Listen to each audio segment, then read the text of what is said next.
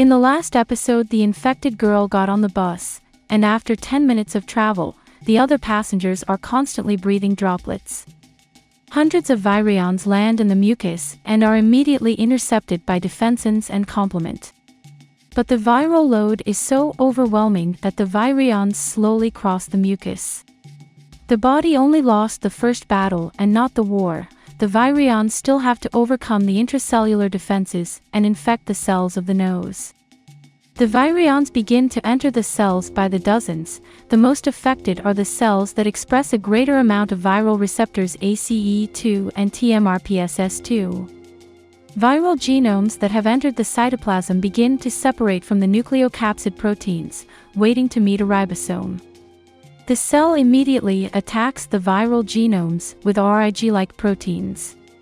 But this time, a large number of viral genomes entered the cell, and with them a large number of nucleocapsid proteins. Nucleocapsids defend the virus by inhibiting the TRIM25 protein, interrupting one of the metabolic pathways that activate interferon genes. But the cell also attacks with MDA5 proteins, which do not use ubiquitin and are not inhibited by nucleocapsids. MDA5 uses another ubiquitin-like protein called ISG15 to oligomerize and start MAVS polymerization on mitochondrial membranes, activating the TRAF pathways. The virions manage to disable one of the two main signaling pathways that activate the interferon gene against SARS-CoV-2, delaying the expression of interferons proteins. A smaller number of virions enter via the endocytic pathway. Some of the virions are disintegrated by proteases while others remain close to the endosomal membrane and manage to fuse their membrane to escape into the cytoplasm. Pieces of viral genome in the endosome activate toll-like receptors 3 and 7 to activate the other two signaling pathways that activate the interferon gene. The cells continue to withstand the continuous viral attack, but in some of the passengers the viral load is very high and in other passengers the cells are weak, sick or old. In these people some viral genomes manage to bypass the MDA5 defenses and find a ribosome. It is known that the viral genome is not translated into protein in the conventional way. Instead, the viral genome is thought to use its stem loops to bind ribosomes and position them directly on the start AUG sequence. The ribosome begins to translate the information into protein, and soon it will infect the cell. But all efforts will be in vain if the cells activate the antiviral state, the interferon gene is being activated by regulators. But the time it takes for the interferon proteins to be expressed after transfection is about 25 minutes, and the N proteins were able to reduce the signal, further delaying expression.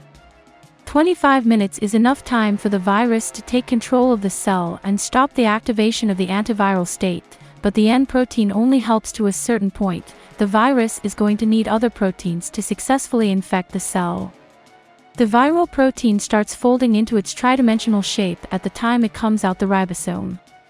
The ribosome continues translating the protein, until it reaches a segment that contains a signal that halts translation until it reaches the endoplasmic reticulum. In the meantime the part of the polyprotein that got translated contains a papain-like protease which cleaves the polyprotein in two different parts, generating three independent proteins we call non-structural protein 1, 2, and 3. The non-structural protein 1 binds to the 40S ribosome subunit and competitively inhibits binding with messenger RNAs. This stops all cellular messenger RNA translation, interrupting the nucleus influence on the cell. Now the viral genomes are about to replace the cell genome, becoming the soul of the cell. The function of the non-structural protein 2 is still a mystery, but important in cell infection success. The viral genome is still far away from reaching the endoplasmic reticulum, on its way there, it inevitably encounters more RIG and MDA proteins. The nucleocapsids protect the viral genome from RIGs, but if the viral genome does not stop the MDA attacks it will be destroyed by the cell.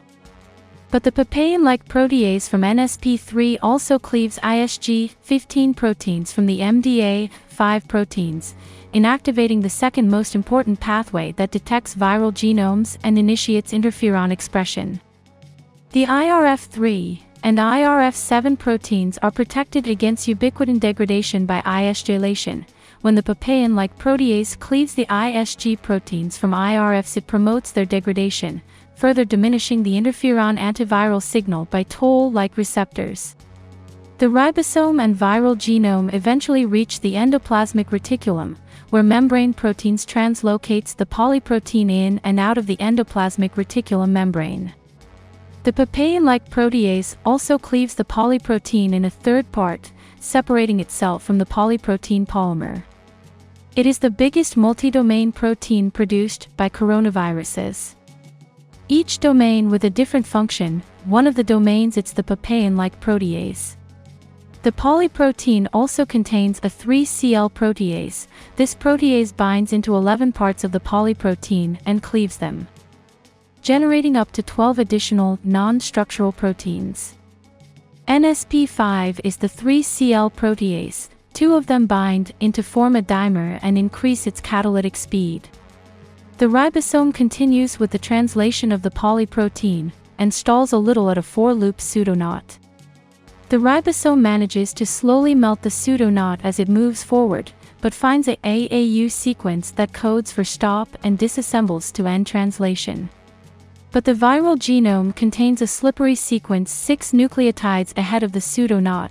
When the ribosome stalls and slowly melts the pseudoknot it can randomly slip one nucleotide backwards, if this happens the ribosome does not read the AUU sequence and continues moving forward, translating the information until it comes across another AUU codon, that disassembles the ribosome, and stops translation.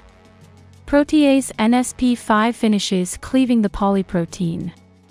This mechanism of synthesizing a giant protein to later be cut into 15 proteins in a single ribosome translation is of great advantage in accelerating viral infection.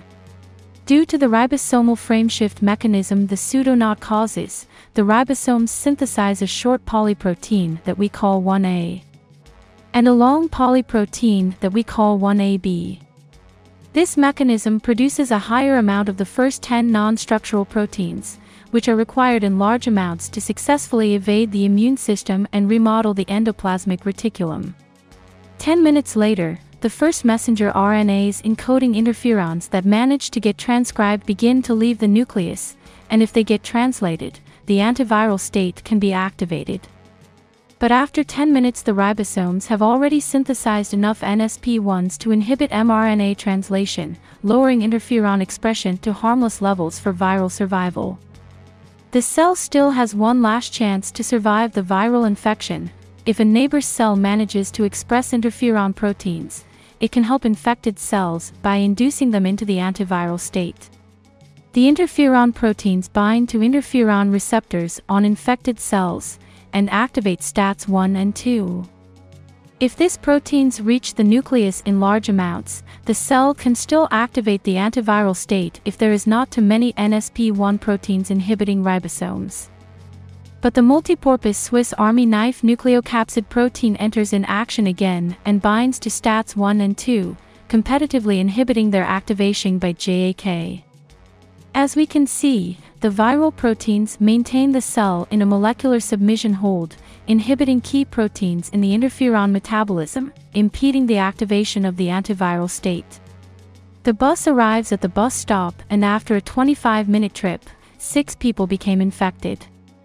A 16-year-old adolescent with normal physical condition and body mass.